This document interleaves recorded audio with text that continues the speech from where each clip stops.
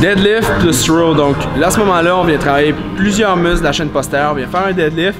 La jambe peut être droite, peut légèrement fléchir, ça dérange pas. Lorsque vous êtes en bas du mouvement, c'est là qu'on vient faire un rowing avec la barre.